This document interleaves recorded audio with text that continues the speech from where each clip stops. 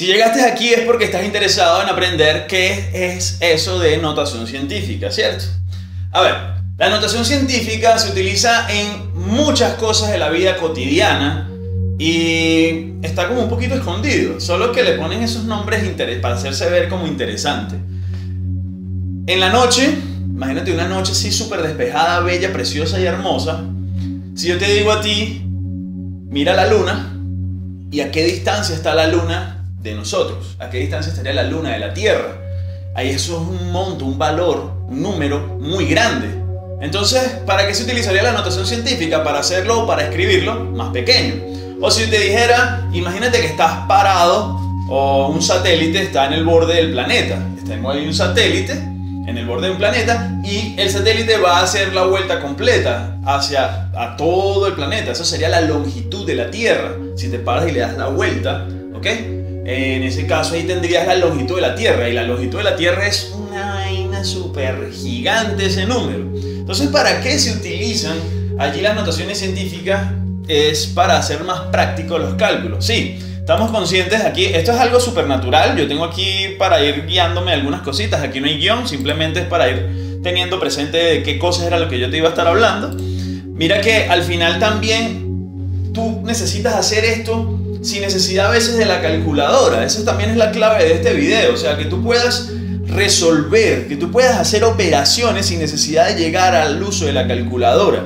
Y eso normalmente lo vamos a poder estar haciendo en exámenes que sean destinados para ello. Van a colocar siempre números decentes. Pero antes de, empezar a hablar de tips y cosas importantes, ¿qué es eso realmente de la notación científica? Imagínate que yo, por ejemplo, tengo acá 0.000453. Es un ejemplo. O si coloco 276 eh, con, no sé, 5 ceros. Y aquí uno empieza, empieza a colocar cada tres puntos lo que sería la unidad de mil. Unidad de mil, unidad de millón. O acá un número muy pequeño. Pero ¿qué es lo que significa eso en notación científica? Si tú lo buscas en los textos, te dice algo así tipo, este, se coloca un número entre el 1 y el 9 como primer entero válido, seguido del decimal con los demás, de lo que es la coma del decimal con los demás números que van a ser los decimales. Bah, mira esto. Si tú quisieras, por ejemplo, olvidarte de los decimales, tú puedes de aquí escribir sin problema 4,53, 45,3 o 453, dependiendo de lo que tú necesites. Obviamente a nosotros nos hace más práctico el hecho de escribir sin decimales, pero tú puedes hacer lo mismo. Al final, ¿qué es lo que está sucediendo? Como tú vas a correr el decimal de espacio, tú lo que vas a hacer es moverlo a él y simplemente la cantidad de espacios que lo mueves vas a ser el exponente de lo que sería este 10. Ahora, si te preguntas por qué se coloca siempre un 10 aquí, es porque también estamos hablando y trabajando con la base decimal. Al final cada número, si tú lo multiplicas por 10, simplemente se le está agregando un 0. O si lo divides entre 10, se le quita un 0, se le corre la como un espacio. Por eso siempre va a ser el número que va a aparecer allí. Mira que si tú, por ejemplo, quisieras colocar 4.53, ¿cuántas veces corriste el decimal para poder llevarlo hasta aquí? Ah, bueno, cuentas. De aquí hasta aquí tengo 1, 2, 3, 4 espacios. Quiere decir que coloco 10 a la 4, pero Aquí donde está la clave de lo del signo. Si el número es muy pequeño, si el número es uno pequeño y lo vas a hacer, escribirlo en uno muy grande, se coloca el exponente negativo. Si el número es pequeño y lo vas a escribir de esta forma es negativo. O también se le dice por allí, si se corre la coma hacia la derecha, es signo negativo, como tú quieras. Al final, ¿qué pasa si quieres escribir este? 45.3. ¿Cuántos espacios corre? Mira que sería uno más. Es decir, 1, 2, 3, 4, 5 espacios. Bueno, este sería lo mismo, solo que elevado a la menos 5. O este de aquí, un espacio más. Quiere decir que sería elevado a la menos 6. Y ya vas a ver por qué me interesa este de aquí. Ahora, los tres valores son iguales. Es lo mismo. Pero lo que establece, ojo, lo que establece la notación científica en realidad es esto. Dejar solamente antes de la coma, en la parte entera, un número que esté solamente entre el 1 y el 9, es decir, un solo dígito. Aquí no puede estar el 0, no puede haber un número mayor que 9 porque ya serían dos dígitos. Entonces allí simplemente va a ir, en tal caso, lo que pide la notación científica como tal es esto. Pero para nosotros puede escribirse de cualquier forma y nos va a ayudar a hacer operaciones. En este caso, mira que sería un número más grande. Si tú, voy a, voy a venirme hacia este lado. Tú puedes escribirlo como notación científica formal. Mira que los enteros mayores que 0 que tienes sería el 2, el 7 y el 6. Bueno, escribimos el 2, el 7 y el 6. Puede ser 2,76, puede ser 27,6, puede ser 276, cualquiera de los tres, no hay problema en ello. Ahora, cada uno multiplicaríamos por 10. Cada uno lo multiplicamos por 10. Ahora, ¿cuál es el exponente que se le va a colocar a cada uno? Simplemente mira cuál es el número. Aquí, ¿dónde está el decimal? El decimal no se coloca, pero se sobreentiende que está al final del valor. Cuando un número es grande, al final del valor, porque esto es algo coma cero. 0, 0, 0, 0, 0, etc. Ahora, desde aquí, desde el último dígito, para llegar el decimal hasta aquí, ¿cuántos espacios fueron? Y empiezas a contar, bueno, 1, 2, 3, 4, me perdí. 1, 2, 3, 4, 5, 6, 7 espacios. Y bueno, escribes 10 a la 7. Ahora, aquí era negativo cuando es un número pequeño a notación científica. Aquí el exponente es positivo cuando es un número muy grande a notación científica. Entonces, si quieres colocarlo donde está el 7, es un espacio menos. Mira que sería 1, 2, 3, 4, 5, 6. 6 espacios solamente. 27.6, como son 6 espacios por 10 a la 6. Y por último, sería en este caso para llegarlo hasta aquí, para dejarlo sin los decimales, que lo puedes hacer, sería 1, 2, 3, 4, 5 espacios solamente, es decir, por 10 a la 5.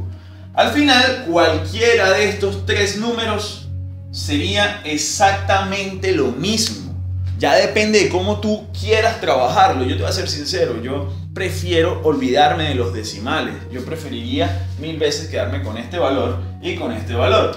Ahora, ¿Cómo se harían las operaciones matemáticas entre esos números? Imagínate que, no sé, te colocaron esos dos valores y no tienes calculadora a la mano. No la tienes. Y dices, eh, ¿cómo así? Ya va. Mira, no, me mandaron a multiplicar. Vamos a multiplicar. Vamos a poner multiplicar. Me mandaron a multiplicar 0.000453 por 276. Le había puesto, eran, ¿cuántos ceros? 3, eran 27 millones 600 mil. Me pusieron a multiplicar todo esto. Ay, me enredé con los ceros, me enredé con los decimales. Mira, no sé tú, pero yo preferiría hacer esto. Este que está aquí es este. 453 por 10 a la menos 6. ¿Por quién? Por todo este valor que era este. 276 por 10 a la 5. Ahora, ¿qué hacemos aquí? Aplicamos potenciación. 453 por 276 lo tienes que multiplicar. De hecho, hay un video que tengo ahí, si quieres repasar cómo se multiplican por tres cifras, tengo un video que dice multiplicación por tres cifras. De hecho, aquí lo voy a dejar un momentico en la, lo que es las etiquetas. ¿ok? Ahora, estos dos números que están aquí te van a dar un resultado. ¿Cuál? El que tú quieras. Luego, 10 a la menos 6 por 10 a la 5. Escribes un solo 10 y suma los exponentes. Menos 6 más 5 sería menos 1, es decir, 10 a la menos 1. ¿Qué vas a hacer ahora? El resultado que te dé esto por esto lo vas a colocar acá. De hecho, si sacas la cuenta, aquí con la magia del video, 125.028. Un número grande, ¿cierto? 125.028. Y ese por 10 a la menos 1, ¿qué significa? Simplemente vas a hacer lo siguiente. ¿Qué significaba el 10 a la menos 1? Una coma que venía de izquierda a derecha. Como tienes el menos 1, regresa la coma, puedes regresar el decimal. Si era este valor, colocando el decimal aquí, al final se va ese por 10 a la menos 1. Entonces, ¿de aquí qué significa esto? Tú dices, mira, no, pero ahora quiero volverlo a escribir con notación científica. ¿Cómo hago? Bueno, puedes hacer el que estaba escrito ya, 125.028 por 10 a la menos 1, o puedes agarrar y escribirlo como notación científica, que sería ignorando este menos 1, colocando la coma donde estaba, 1,25, dependiendo de lo de las cifras significativas que te pidan, 1,25 con el 0,28 si quieres, por 10 a la cuánto. Mira que si el decimal estaba aquí, para llevarlo hasta este punto serían 1, 2, 3, 4 espacios. ¿Hacia un número cuál? Pequeño o grande. Moviste el decimal hacia la izquierda, era un número grande. Es decir, que el decimal es positivo. Entonces al final tú agarras y cuando multiplicaste esto por esto, mira que en realidad simplemente fue este número. ¿Te importaron los decimales? No. ¿Te importaron los ceros? No. ¿Qué es lo que vas a hacer? Utilizar entonces la notación científica para ignorar, olvidarte de los decimales y simplemente dejarlo expresado en un número que sea más palpable. La clave es esta. Y los, si fuesen del mismo signo, se suman los valores. Si son de signos opuestos, se restan y ya. Y al final es ir jugando. Aquí era, era esto por 10 a la menos 1, el resultado de la multiplicación. Al final puedes ir representándolo como tú te sientas más cómodo.